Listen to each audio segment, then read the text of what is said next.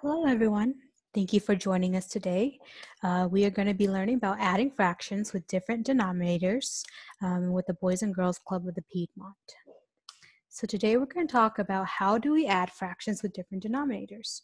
For example, we have 1 half plus 1 third. So how does this look like? Here is a half, there's the other half, and here is a third broken up into three parts. So we can see here that the halves are not the same as the thirds. So since they're not the same, we're not going to be able to uh, add them. So what we have to do is we have to take the denominator and find the lowest common denominator, the least common denominator, which is, let's look at the 2 for the halves, is 2, 4, 6, 8, 10. For this side, the thirds, we have 3, 6, 9, 12, 15. So the lowest number that they both have in common, in this case, is the 6.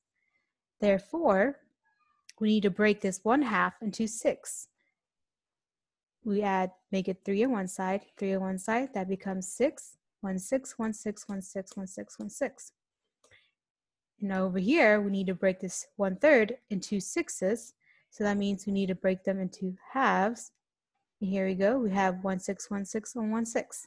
So now this there is the same. The denominators are the same, which means we can add them. But how do we get to the 6? So we have the first fraction, which is 1 half. And to get there, we have to multiply the 2 by 3 because we went three places. 1, 2, 3. So 2 times 3 equals 6. And whatever we do in the bottom, we got to do in the top. So 1 times 3 is 3. So our new fraction would be 3 6, which is the same thing as 1 half.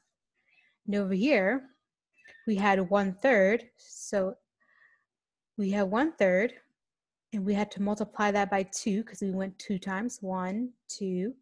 So 3 times 2 is 6. And whatever we do on the bottom, we have to do on the top. So 1 times 2 is 2. So the Another way of saying 3 one third is 2 6, the equivalent fractions. So now we have 3 6 plus 2 6 equals, and notice that there's 6 here and a 6 here. So now we know that the bottom is going to stay a 6. We just have to add the top, 3 plus 2, and that is 5. So the answer is 5 6. Let's do another one we have one third plus one fourth. Again, we have a three and a four, and a we can't add them because the denominators are different. So you can see here, these are thirds, and these are fourths. They're not the same, so we cannot add them. It's like saying, can we add apples and socks? Not really, because they're two completely different things.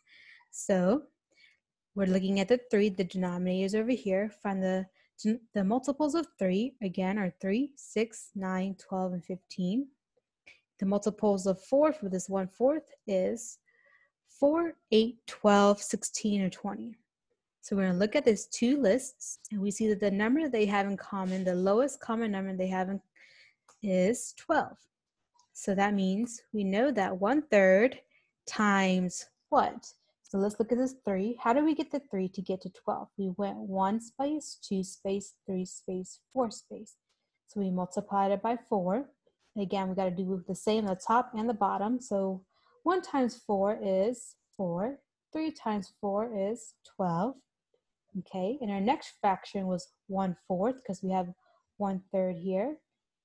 And that's this, and we change that to 4 twelfths. Then we have this one fourth here, and we're gonna change that. How do we get this four to equal 12? We went one space, two space, three space. So we gotta multiply both the top and the bottom by three equals three over 12.